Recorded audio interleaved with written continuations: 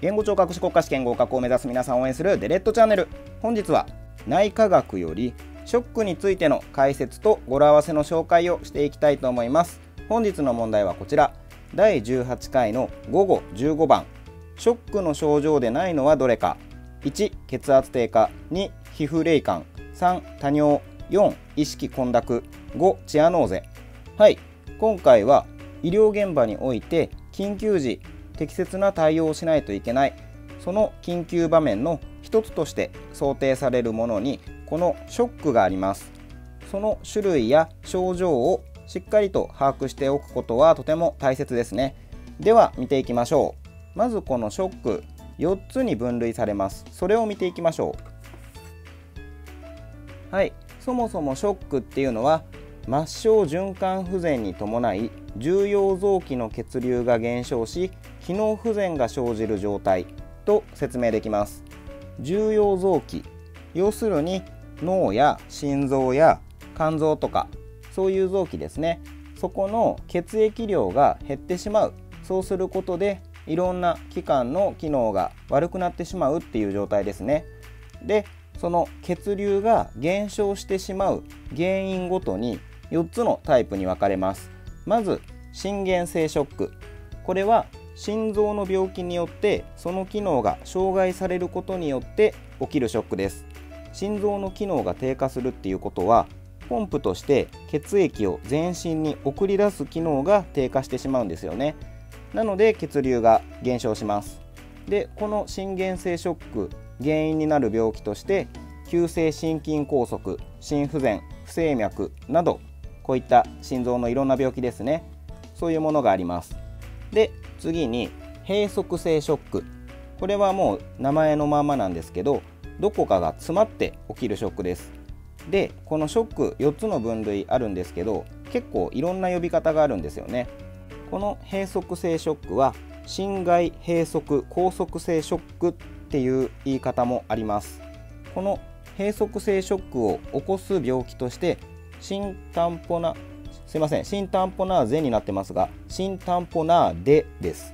選択肢のチアノーゼに引っ張られましたね。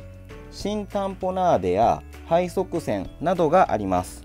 新タンポナーデっていうのは心膜の間に血液が溜まってしまって心臓を圧迫するっていう病気ですね。閉塞拘束されてるわけです。そして次に低用量性ショック。これも別の言い方があります。循環血液量減少性ショックっていうちょっと長いですけどそういう呼び方もあります。でこれは全身の血液や体液が減少することで起きるショックです。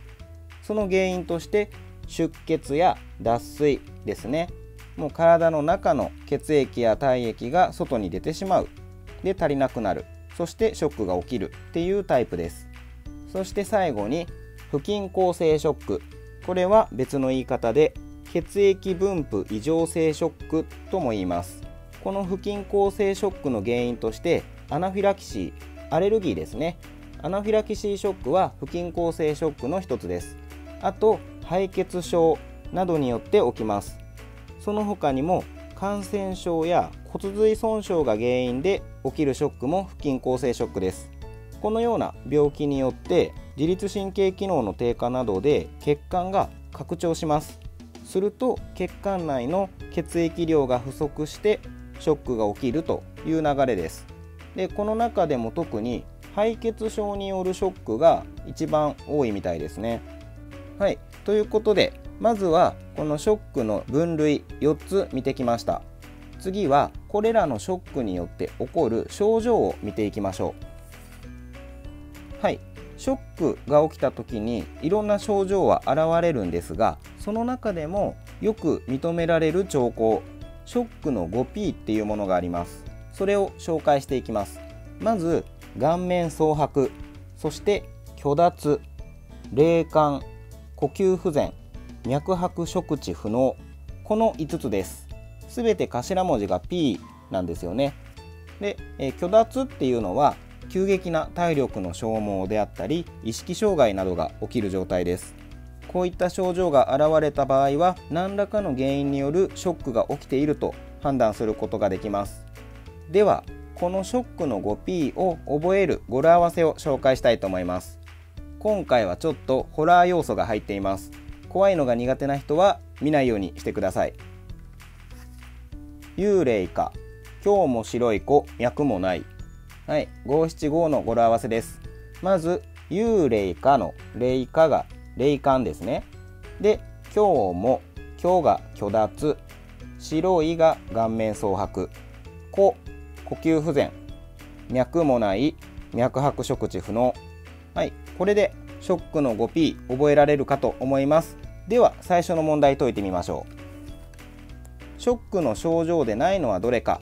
1血圧低下。はい。血圧は下がりますよね。そもそもショックっていうのは血流が少なくなっている。で心原性だったら特に心臓から全身に血液を送るポンプ機能が低下している。ということは血圧も下がる。なので1はショックの症状です。2皮膚の冷感。はい。血液が少なくなっているからまあ冷たくなりますよね。だから2番もショックの症状です。3多尿。はい。これが誤っています。むしろ尿量は低下します。体の中の血液や体液が減少してるんだから外に出ていく分の尿も少なくなっちゃいますよね。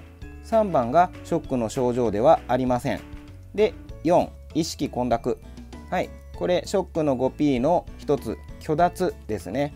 意識が朦朧としてしまう。そういう状態はあります。そして最後5番チアノーゼ。はい。チアノーゼは皮膚の色が紫になっちゃう状態ですよね。これは顔面蒼白と同じように血流量が減少することで見られる兆候。なのでショックの際も見られます。ということでこの問題の答えは3番の多尿でした。はい。このショックの症状をしっかり覚えていざ緊急の場面に遭遇した時に冷静に対処できるようにしておきましょう。何も知らなかったらこんな顔になっちゃいますからね。ということで是非今回の語呂合わせも参考に国家試験勉強頑張っていきましょう。リクエストありましたらインスタやツイッターコメント欄からメッセージお待ちしております。それでは本日も最後までありがとうございました。